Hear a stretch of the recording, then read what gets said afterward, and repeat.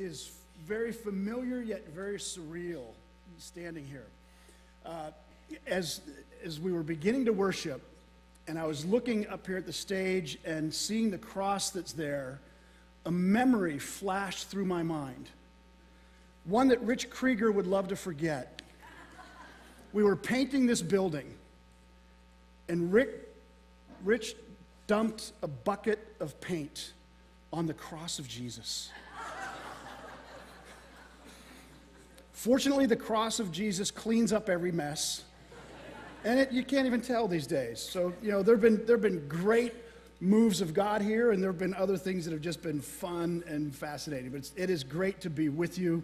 Uh, and just to share God's word, I'm looking at the time, and I'm sure you are too. I'm not concerned. My flight's not till 5 tomorrow. So relax. Let me read from God's word uh, from Paul's first letter to the Corinthians, chapter 2, 1 Corinthians 2, the first 10 verses.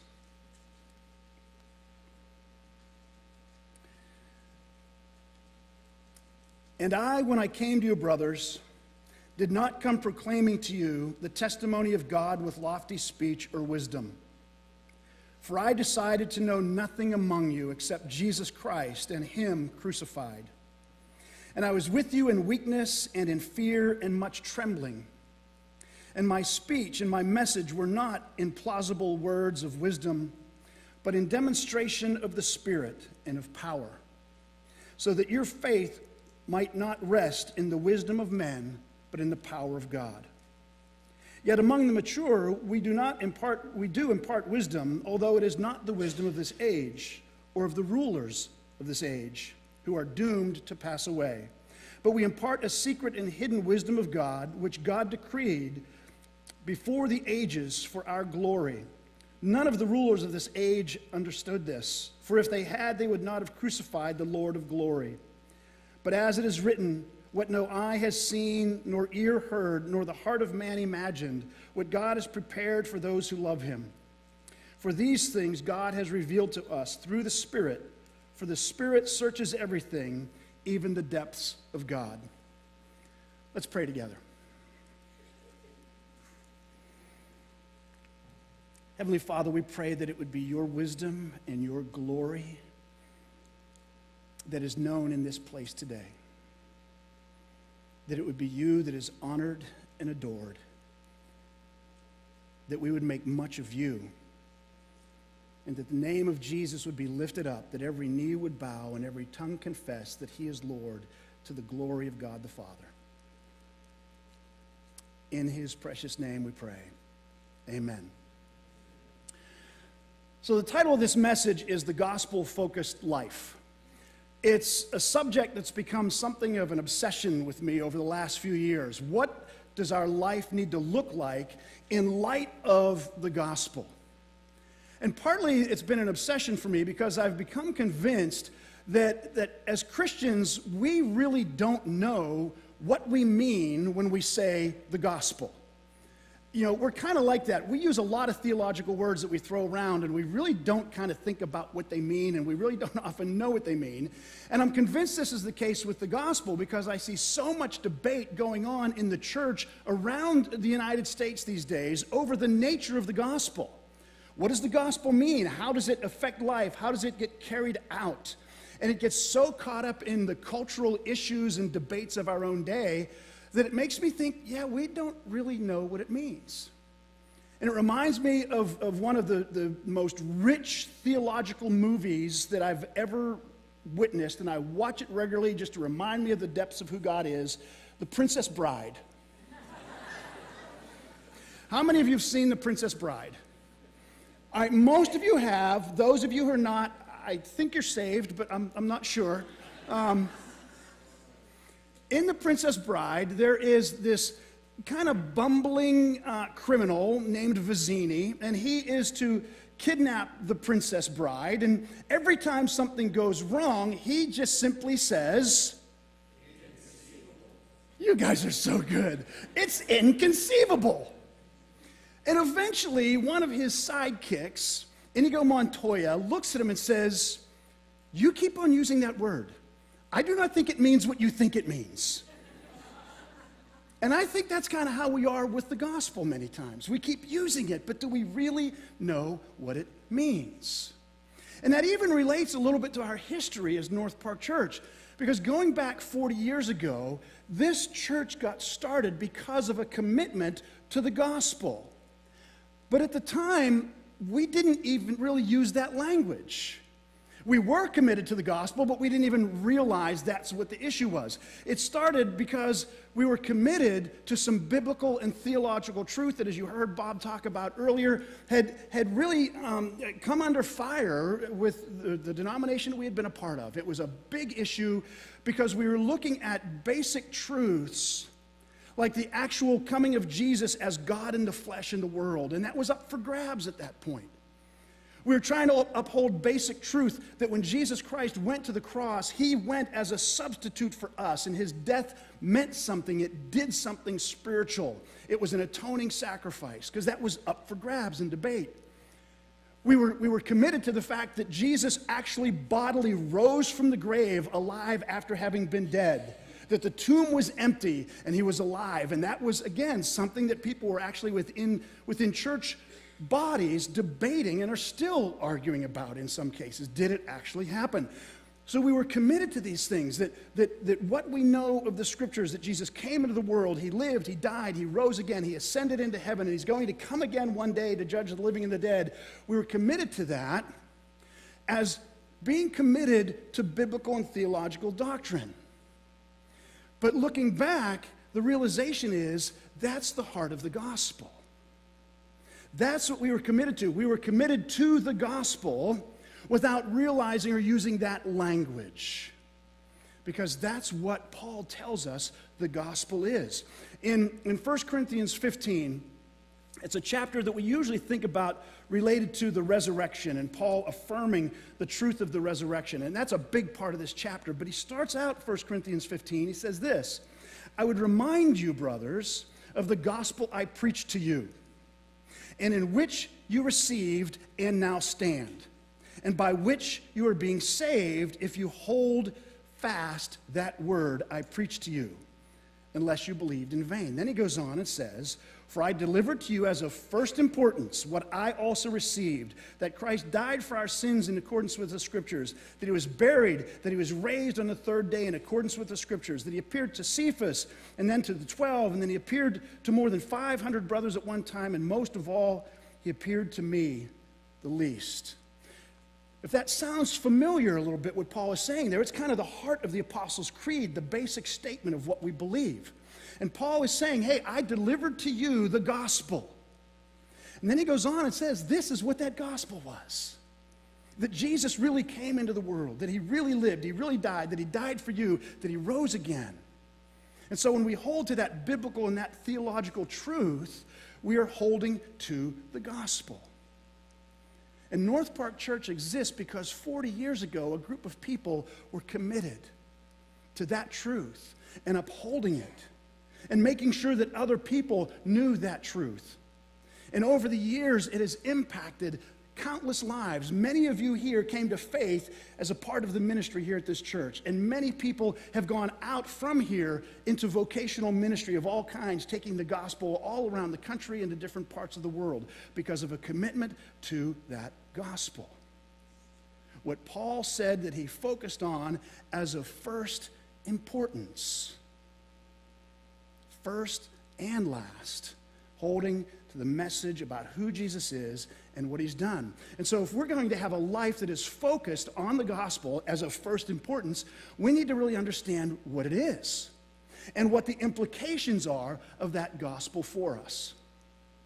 Now, when Paul went to Corinth, as we saw in the, in the passage from chapter 2, he said that he came there with a determination to do nothing but to preach Christ and Him crucified. Now, that's Paul's shorthand way of saying what he later says in chapter 15 that I read of the fullness of that, the fullness of that message. You know, he didn't just preach, yeah, Jesus came and died on a cross. He preached the fullness of everything around that. He said, That's what I came to give to you. And I focused on that. I was determined to bring you nothing but Jesus Christ and Him crucified, preaching the gospel of Jesus, because that's what the people of Corinth needed. But it didn't mean that Paul only preached about the life of Jesus, what you might read in Matthew, Mark, Luke, or John. What it meant for Paul is that he preached the gospel of Jesus from Genesis 1 1 all the way through to Malachi that he knew, plus what he had received from Jesus as Jesus appeared to him. Because the gospel begins at the beginning. It starts in Genesis 1 1, because the whole story of Scripture is the story of the gospel. It's the story of the good news of what God has done for us. And so, focusing on this idea of the gospel is one that has just gripped me more and more. Because what I see, it's not only that many of us as followers of Christ don't really understand what the gospel is, we don't understand what it means in our lives. Unfortunately, a whole lot of Christians think they do get it and it has impacted their lives appropriately. And I'm not talking just about the casual Christian who, you know, shows up for Christmas and Easter. I'm talking about people even in Christian ministry and leadership. And that's why the debate's going on in our culture today of what is the gospel? And how does it impact the way we live and how we interact with culture? And Paul said, I came to you bringing that of first importance. So, what do we mean when we're talking about this gospel? beyond the, the doctrines that, that we would all nod our heads and say, oh, yeah, we believe that. That's basic Apostles' Creed stuff. What do we mean when we talk about the gospel? Well, on one level, yeah, we're talking about good news. That's what gospel means. It's an old English word meaning good news. And it actually comes from the New Testament word that is the same root word for evangelism. It's for, in essence, the word we should translate, that we translate gospel or good news, should be good newsifying. You know, that we're basically sharing good news because the gospel message is not just something that we have and hold in our heads, it's something that we have and we share with others. We, we spread that good news. And so oftentimes we hear, yeah, the gospel, that means good news. Well, anytime you have good news, you pretty much also have what? This is where you're allowed to talk back. Okay. Bad news. Very good. Very good. There, some of you remember way back in the day, we had a partnership with a Black Baptist church in inner city Pittsburgh. Anybody remember that when we went we did some worship? Some of you remember that, okay? So we took our worship team out there and I preached out there and we also had their choir here and, and their pastor preached. And when we went out there to, to, for our worship team to lead and for me to preach, it was an amazing experience. Our worship team loved it and the preaching was awesome.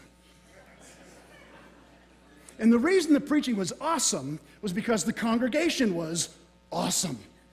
Because you know how it gets here in a Black Baptist church, man. It's like, it's, it's back and forth, man. We, we had it going, right? You know, it's, hey, can I hear an amen? amen? You know, it's back and forth. And it was fantastic. We're in the van driving home. And somebody says to me, Dan, why can't you preach like that every week? I said, look, I can preach black. The problem is you only listen white. Okay? So it's okay to, you know, a little feedback is good. That's not in my notes, so where am I? That's always when Barb gets nervous. He went off script. So the gospel is good news, but we also know it's because there's bad news. The good news is so important because of the bad news that exists. The bad news is we are a people in rebellion against God. As scripture says, while we were still enemies of God, Christ died for us. The bad news part is the enemy's part. We rebelled back in Genesis chapter 3. And ever since then, we've been living under the condemnation of sin till Jesus comes and makes it possible to bring good news to say, hey, you can now have a life of freedom in Christ. And you can have the blessings and the goodness that comes from a relationship with Christ. Good news. But see, even in that, even that bad news, good news thing, we're still not getting the whole gist of the gospel. Because we might start at Genesis 3 with the bad news and then get to the good news with Jesus, but we're missing what? The first two chapters. Because the first two chapters of the Bible is good news. God created, And every time he created something, what did he say? That's good. And finally, when he creates humanity and he's done with all of it, he's made us in his image, what does he then say? He said, That's, oh, you guys are getting it. This is good. Very good. Unfortunately, as evangelical Christians, I think we got stuck in the bad news part of Genesis 3, and that's all we brought to the world, and then said, hey, and there's good news. But there's something that's happened in the world. The world has basically rejected this idea of we're just bad. And we're coming and say, oh, you're bad. And we've truncated the gospel. What the world needs to hear is, hey, you know what? You are made in the image of God. And God made you to flourish. God made you to thrive. God made you to be in a relationship with Him where you love Him and you know He loves you and your life is all that was meant to be. And people will be like, yeah, that's what I want. Then you could say the bad news is you screwed it up. and most people are going to go, well, yeah, I kind of did. Say, but you know what? You're still made in the image of God. And He still loves you deeply. And that's why Jesus came to die for you so that any person you lock eyes with at any time, you need to realize they're made in the image of God. And it doesn't matter white, black, Hispanic, Asian, rich, poor, whatever, drug addict, gay, you know, whatever it is, they are people made in the image of God, but that image has been twisted and tainted by our rebellious sin. And deep down inside, most of us know that. And we want to hear that good news. So Paul says, I came to bring you this gospel message of Jesus Christ and Him crucified. But then he goes on and he talks about the impact of that gospel and what that gospel was really like. So now I'm getting into the heart of the sermon. Three quick points, trust me. First thing Paul says in 1 Corinthians 2 the gospel focused life does not focus on the wisdom of man, but the wisdom of God He says this in verses 4 and 5 My speech and my message were not in plausible words of wisdom, but in demonstration of the Spirit and power, so that your faith may not rest on the wisdom of men, but on the power of God. It's the wisdom of God that is at stake here. Now, understand who Paul is writing this to. He's writing to the Corinthians. It's a major city in Greece. He's just been to Athens doing ministry there, and he's made his way to Greece. We're in the hot heart of, of philosophy of Plato and Socrates and, and the Stoics and the Epicureans and, and people who spend their entire lives doing nothing but thinking deep thoughts. and Paul comes into that culture and says, Look, I came to you not with that kind of philosophy of man, not with that kind of wisdom of human beings, but I came to you bringing the wisdom of God. And it's a completely different thing. Now, what we need to recognize as followers of Jesus is that we, in many ways, have bought in to the wisdom of the world and not the philosophy and the wisdom of God. We've bought into the wisdom of the world about personal safety, about physical comfort, about financial security. Three things, again, that I've just been going over again and again and just bringing back as a message for people. The wisdom of the world says, oh, be safe. And in the last year and a half, you know, what's our whole culture been about? About being safe. Not going to get into the politics of masks or no masks or any. I'm from Florida. We do whatever we want. yeah. But think in general about how we approach safety. Mothers, you have realized there is not enough bubble wrap in the world for you to keep your kids safe, is there? And what happens when you focus on safety? You never feel safe. Why? Because we've made that an idol. And we're asking it to do something that only God can do make you safe. And guess what? God's promise is I'm not going to make you safe. I'm going to put you in places of danger, places of risk for the sake of the gospel. Our middle son, JT, why am I getting choked up about this? Told this story many times. He spent a year in Egypt during Arab Spring. okay? In the heart of Cairo. Being his father's son, he went down to the protests on occasion to see what was going on. But we had numerous people who would come up to us while he was over there and say, Aren't you worried about his safety? We said, No, because before he left, we said, Are you sure this is what God wants you to do? He said, Yeah, I'm sure this is what God wants me to do. And so we realized he would be safer there than he would be down the hall in his bedroom. Maybe not physically, but certainly spiritually, because it's where God wanted him to be. God doesn't want to keep you safe. He wants to be with you in the midst of the danger. That's gospel wisdom as opposed to worldly wisdom. What about physical comfort? The world says, man, we want to be cushy, we want to make it nice and easy, we want to make it wonderful. I knew this was a problem after we moved to Florida. We're in Florida, okay? And there are people with heated seats in their cars. I'm not kidding you. It's 60 degrees. Oh, I got to put the seat warmers on. Don't laugh too loud. I could make fun of all of you here too. what is that cushy, comfortable thing that you want in life? We've made comfort an idol. But here's the thing when you make something an idol, you never feel like you get from it what you're asking. You never really feel comfortable. When you're trying to be comfortable, what do you realize? Oh, that little thing that makes you uncomfortable is what you experience and feel. You know the story of the princess and the pea? You know the story is the princess, she can't sleep on her bed, it's too uncomfortable. You know, and so she wants a bed that's so comfortable when they put a pea under the mattress, she won't feel it. And eventually they're stacking mattresses high for her to sleep on. And she just, oh no, I can still feel it. Why can she still feel it? Because she's focused on the idol of her comfort, and any little thing that brings discomfort, she feels it. Your idols will never give you, give you what only God can give. And God never promises you comfort in that way. Or you think, wait a minute. The Bible talks about God comforting us all the time, and the Holy Spirit is called the comforter. So, like, why shouldn't I be cushy and soft?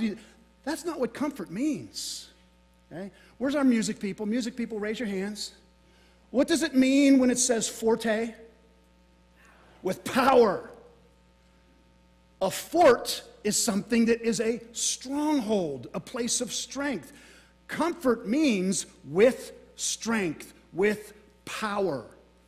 When the Holy Spirit comes to you as a comforter, it is not to take away the hardship, it's to make you hard.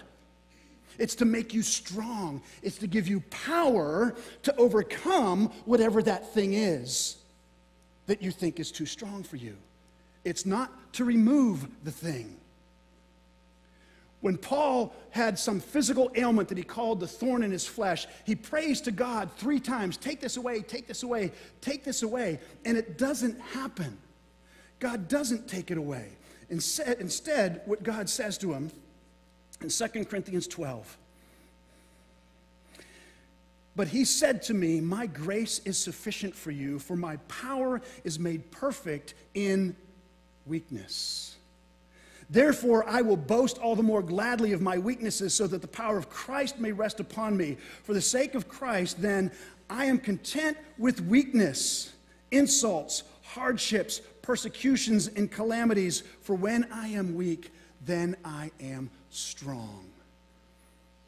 How's that work? When I am weak, then I am strong. During Desert Storm, I had a friend who was a captain in the Army. He was deployed. We were emailing back and forth a lot, talking about Bible verses, and this passage came up, and he said, I don't understand. He said, My world is all about projecting power downrange, it's about strength. How in the world can being weak be strength? I gave him this example. I said, imagine you've got some young second lieutenant out on, you know, their, their first patrol, and all of a sudden they're pinned down from, from every angle. And he's thinking, man, I got to be John Wayne and we got to go charge. And the crusty old sergeant grabs and says, LT, no, no, no, no, no. We are way too weak to take that position. Call in an airstrike. Call in something from above that's way stronger than we are. In recognizing his weakness, that young second lieutenant will save his men. We try to be strong in our own strength. And God is saying, no, no, no, no. You're just weak puppies. Call in some help from above because then you will be strong. Way stronger than you can ever be in your own right. That's gospel truth. But what about financial security? Man, the wisdom of the world says you need to get as much as you, you can, make as much as you can, make sure that your portfolio is big enough. And that becomes an idol. And what happens every time the market has a blip in it? Your heart skips a beat, and you never have enough. Because we've bought into the wisdom of the world and we've made an idol out of something that cannot give us what only God could give a sense of security. When Barb and I got married, we knew that as pastors' family, we weren't going to have much. Now, most people get married and it's 1 Corinthians 13. You know, our scripture passage was Luke 12. Consider the lilies of the field, they got nothing. but God takes care of them. And that really became the truth for us in the early days of North Park Church. Bob and Deb know this well. Our first salary on staff was the exact same thing. It was $14,400 a year.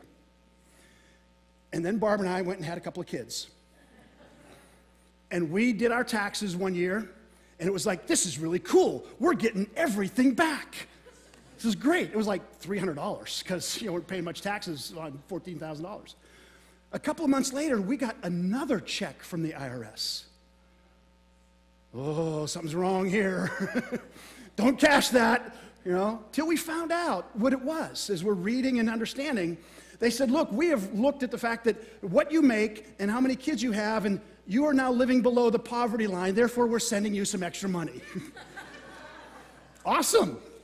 They did it the next year, too. The third year, we got a little bit of a raise and we didn't get the money from the IRS. It was kind of depressing. Um,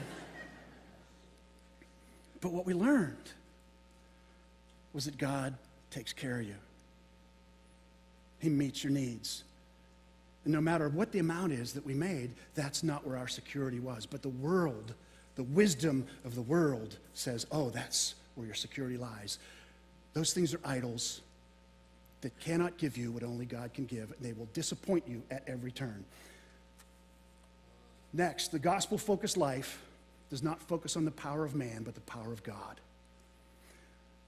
So Paul said, I was with you in weakness and in fear and much trembling. Think about what Paul is saying. Paul, the firebrand. You know, he's the one that's always, you think, man, he's just coming hard. He's saying, no, I was there with weakness and trembling. Because he realized, as he writes to them in Second Corinthians, that it's in weakness that we become strong, that God does something in our lives. And it was Paul who then says, We wrestle not against flesh and blood, but against principalities and powers and spiritual forces of wickedness in high places. The world tells us here's how you go about being strong and powerful and making an impact. And we've bought into that in many ways. So we protest as the world protests. We boycott as the world boycotts. We take people to court as the world takes people to court. And we think, yeah, that's how you, you are strong and, and make a change and do things powerfully. And then Paul says, no, you do it in weakness. In weakness, like Jesus on the cross, who could have called down a myriad of angels in power to free him from that cross, said, No, I'm going to the cross in weakness. And the result was the most powerful thing that ever happened in the history of the world that death was overcome, that sin was wiped away for all who trust him, and eternal life was granted when we believe him. In that incredible moment of weakness, of surrendering to the powers of the day, Jesus had his greatest impact. And that's why the centurion stood there and said, This was surely the Son of God because there was something in that weakness that was different, that was powerful from on high. The gospel is about understanding that the greatest thing ever done in history was done by weakness, not by human power, but by the power of God. And the gospel focused life does not focus on the glory of man, but on the glory of God.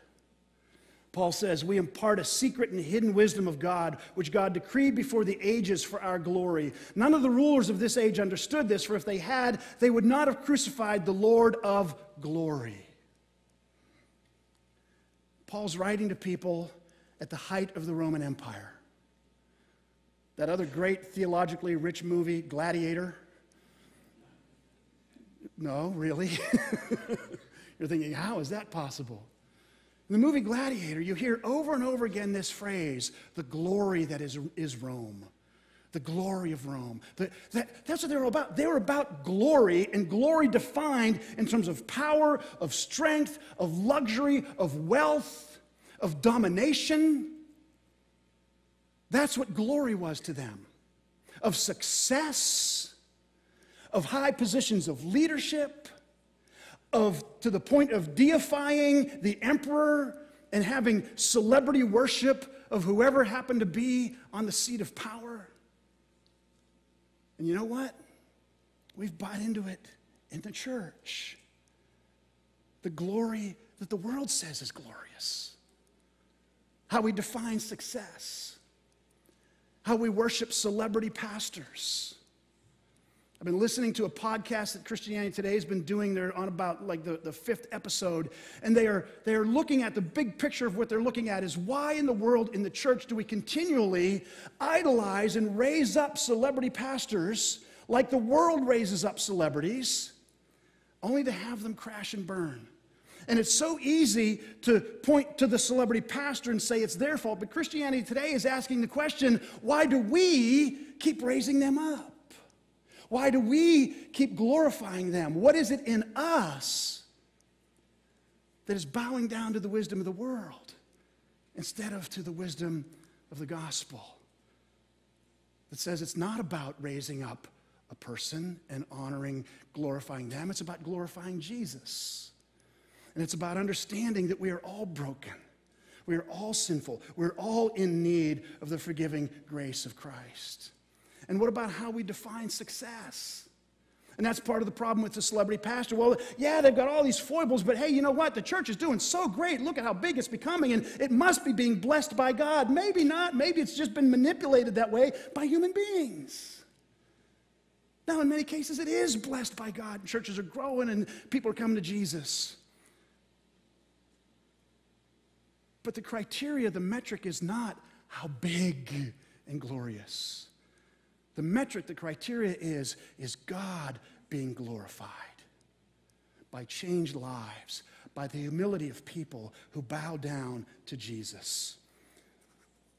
Paul is saying, don't focus on the glory that the world sees because when the world looked for glory, they didn't see it in Jesus because he was nothing like what they expected in a Messiah.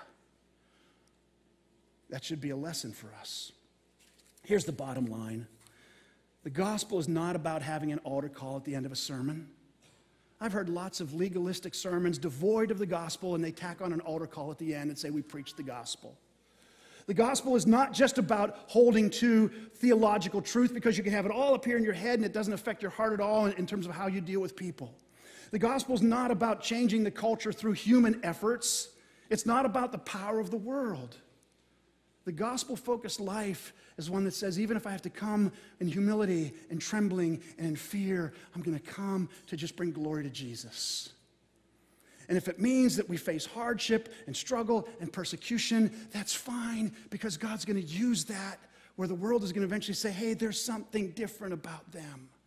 Because they're not reacting the way I would react being a part of the world. They're living differently because of the gospel. The gospel focused life means that every single person you see was somebody that back in Genesis 1, God would have looked at and said, Oh, very good. But who's been living a life estranged from God and broken and in need, just like you were before you came to Christ. It's so easy for us to get feeling so good about ourselves and how our lives are so good and we're following Jesus. And we forget, as Paul said to these same Corinthians, when he talks about how there are so many people, you know, murderers, adulterers, you know, uh, sexual molesters, thieves, gossips, you know, they won't inherit the kingdom of God. And the Corinthians are going, yeah, they won't. And then Paul says, and such as you, such as you, many of you were like them. See, the gospel says this it says, You are a far more sinful, broken person than you ever believed you were. But God loves you more deeply than you can ever imagine is possible. And so you need not try to perform for God's love. You need not expect someone else to perform for God's love, but rather say, I humbly receive what God has given me. And I want to share that with anybody else who's in desperate need of the love of Christ. Let's focus on the gospel as the scriptures lay it out and live that out differently from the world so that the people of the world kind of sit up and take notice and say, maybe that's a better way. And maybe Jesus is who I really need. Let's pray. Heavenly Father, you are so good to us. And we are so undeserving of that goodness. Remind us of it every day. Remind us of that gospel that it was good news, then bad news, and good news again. And may we take that good news, bad news, good news message to the world. And may we live differently, not by the wisdom of the world, not by the world's strength, not by the world's power but may we live by the wisdom of humility and weakness and trusting in your glory and honoring you above all else. In Christ's name we pray. And all God's people said, Amen. Amen.